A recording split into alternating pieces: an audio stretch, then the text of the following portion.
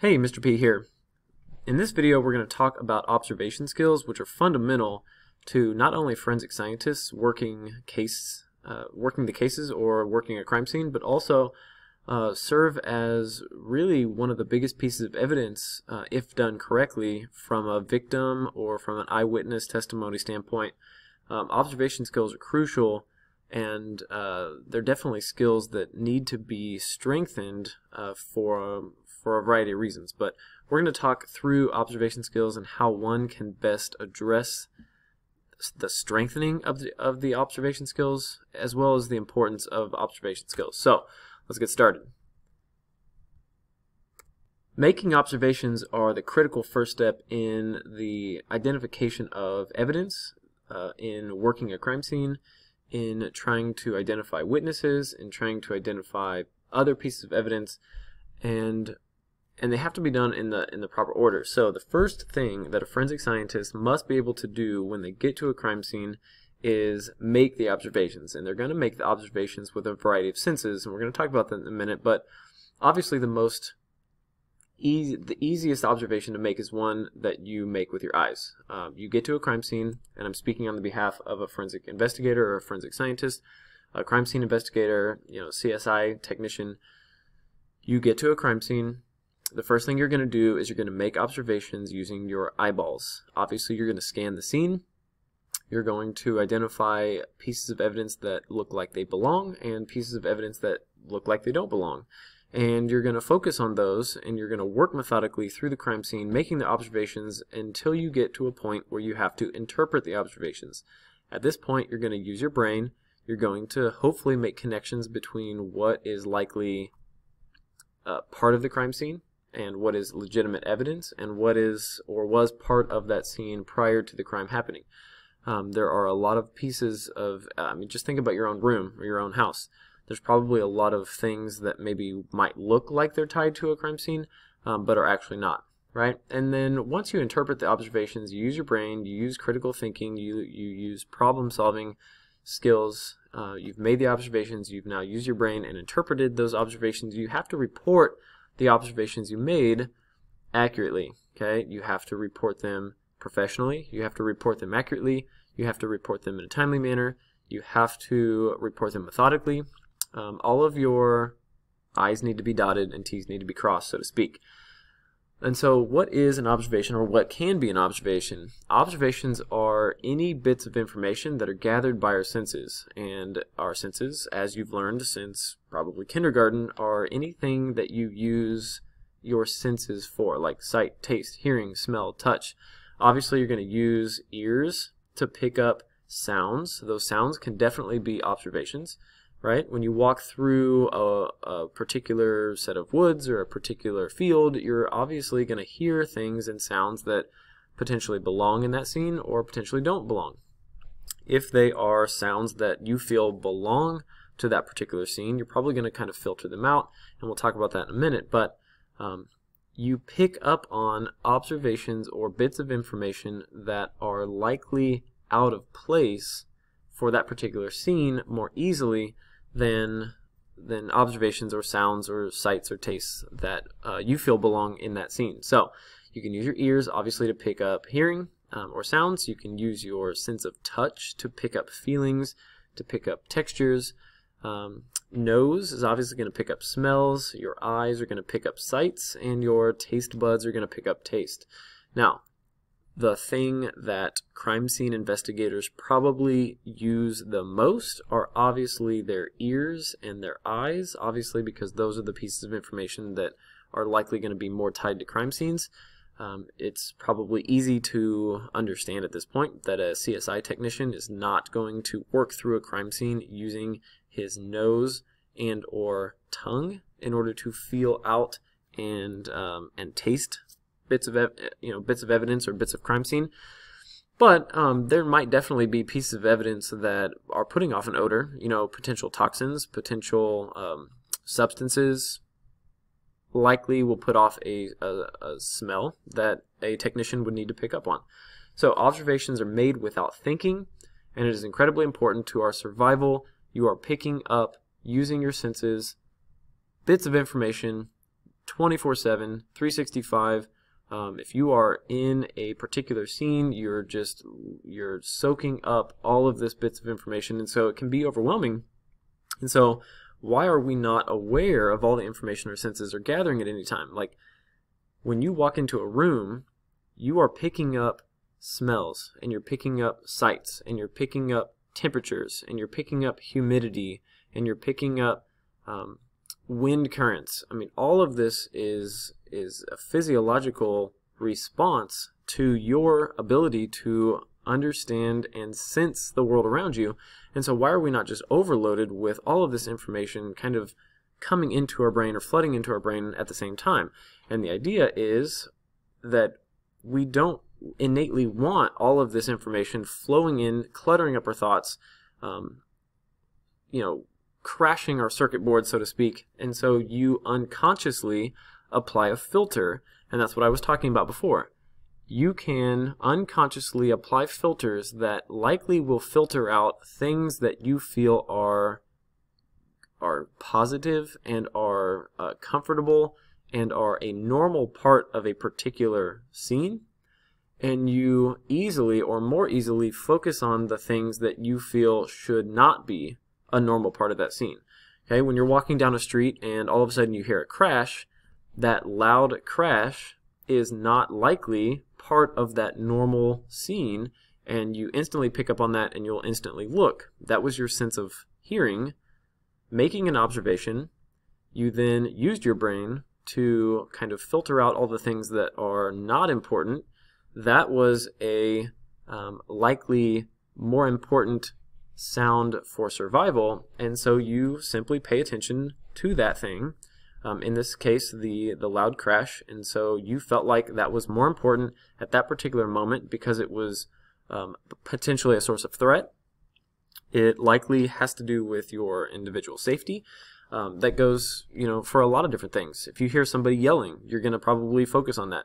If you hear gunshots, you're probably going to focus on that. If you hear a car tires squealing, you're probably going to focus on that, right? Because those are all potential sources of threat.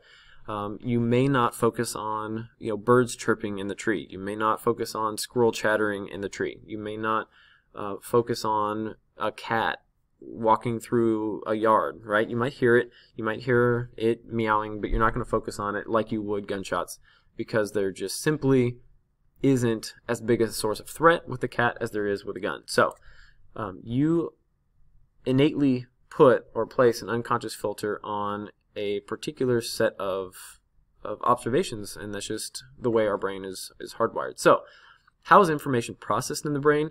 We have to bring up the idea of perception. Um, I'm a glass half full kind of guy, right? Other people are glass half empty, so um, optimism and pessimism come into this. It's how you perceive uh, using your senses. But your perception is likely not always accurate. In, in fact, it often isn't a reflective or reflection of reality. Your perception may be incredibly wrong based on the information that you received from your senses. And your brain has a really good idea about what it needs to survive. Your brain is really good about putting you in situations that are needed to survive. And one of the ways that it does that is that it can fill in gaps. And so if you look at this particular passage, and maybe you've seen this passage before, um, every pretty much every word in this passage is wrong. It's misspelled. It has letters in the wrong order.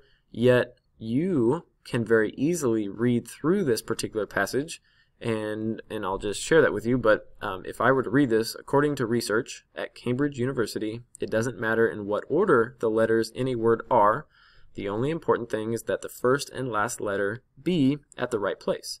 Right? And so it goes on to talk more about what it's happening. And it's because the human mind can actually um, kind of fill in the gaps. And so it doesn't matter if a word or a passage is misspelled, you will often not notice the omission or the mistake in a word. Your brain just fills in the gaps because that it can perceive what the word actually should be or what the passage should actually say without it actually saying that, which is actually pretty cool. Um, another thing is if you um, if you look at this particular picture, our brains are also really good about applying knowledge that you've learned in the past to new situations. And so if you constantly ate strawberry flavored pink icing on a cupcake and you just artificially colored pink icing to be vanilla, right? Just took regular vanilla icing and you colored it pink.